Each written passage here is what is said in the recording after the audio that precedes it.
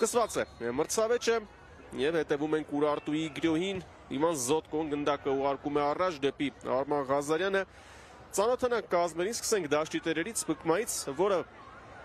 նախորդ երկու հանդիպումներում հանդես է եկել. 4-2-3-1 դասավորությամբ, այսօր եւս բացառություն չէ։ Թիմի դարպասը պաշտպանում է Արման Ներսեսյանը, համար 1 պաշտպանները կենտրոնում որոշել է Արման Ղազարյանին օգտագործել հենակետային կիսապաշտպանի դիրքում, չնայած նա կենտրոնական պաշտպան է, Ուրարտուն է գրեում Սանոգո, փոխանցում Մաքսիմենկոին հեռացրեց գնդակը Պետրոսյանը, բայց հետևեց երկրորդ փորձը ստում գնդակը։ Երազանց պրեսինգ կիրառեց Վահագն Մինասյանի թիմը։ Գենիկ Պետրոսյան, Պետրոսյան Հիանալի խաղաց Գենիկ Պետրոսյանը անցումը հարվածը մի փոքր չբավականացրեց. Գոլի եղինակ դառնալու համար։ Այստեղ էլ հակադարձ պատկերն է, կորստում է գնդակը բկման, Սանոգո, Մաքսիմենկո, Մաքսիմենկո, Արման Ներսեսյան, դույսներում հայտնվելիս, Նիկողոսյան տեսավ, նկատեց, Աղբալյանի արագացումը, Աղբալյան, Լուլուկյան և Մելիխով, Ինչպես այստեղ Աղբալյանին հաջում, հիմա նաև Նարեկ աղասերանը վնասվածք ունի, Արգիշտի Պետրոսյան միանում է գրոհին, փոխանցում Գրենիկ Պետրոսյան, Գրենիկ Պետրոսյան։ Հրաշալի կատարել 6 հարված Ուրարտուն, սկսված է երկրորդ կեսը։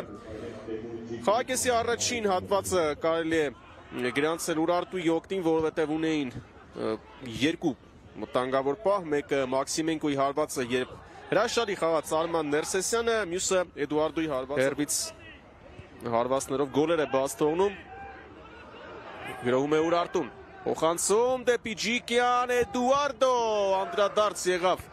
Նորայր Նիկողոսյանից եւ փրկվեց բկման այս դրվագում։ Այդպես եղավ նաեւ առաջին կեսի դրվագներից մեկում։ Աղբալյան նկատեց Գորլու Լուկյանին Մելիխով։ Հենց Մելիխովի ուղությամբ էր ընթանում գնդակը։ Ժիրայր Մարկարյան աչ եզրում նանա ընտվի։ Մնում է հասկանալ կենտրոնում դասավորվածությունն ինչպես է լինելու Գրենիկ Պետրոսյան եւ գոլ։ Գրենիկ Պետրոսյանի արդյունավետ հանդիպումների շարքը համալրվում է եւս մեկ մրցավեճով։ Նախորդ մրցավեճում հետ-տրիկ, գոլային փոխանցում, այսօր էլ եւս մեկ արդյունավետ հարված Գրենիկ Պետրոսյանի կողմից 6-րդ գոլ այս մրցաշրջանում չկար։ Խաղից դուրս վիճակ հասավ գնդակին։ Գոր Լուլուկյանը փայլում փոխանցում կատարեց եւ Սառնասիրտ եզրափակում է Նոնյանը։ Եվ նորից Գրենիկ Պետրոսյան։ Դուրս է եկել Մելիխովը եւ 2-0։ Ինչպիսի ձախողում Ուրարտուի կողմից։ Եվ Գրենիկ Պետրոսյանը դուբլ է ձևակերպում, եթե նա կատարեց այդ վերջին հարվածը, խառնաշփոթ իրավիճակ է եւ ԲԿՄ-ն խփում է երկրորդ գոլը։ Այսպիսի ծանր իրավիճակում է հայտնվում Հայաստանի գործող չեմպիոնը, իսկ Գրենիկ Պետրոսյանը ինչպես համառ էր ամբողջ առաջին կեսում նույն ողջևորվածությունը պահեց նաև երկրորդ կեսում ու դա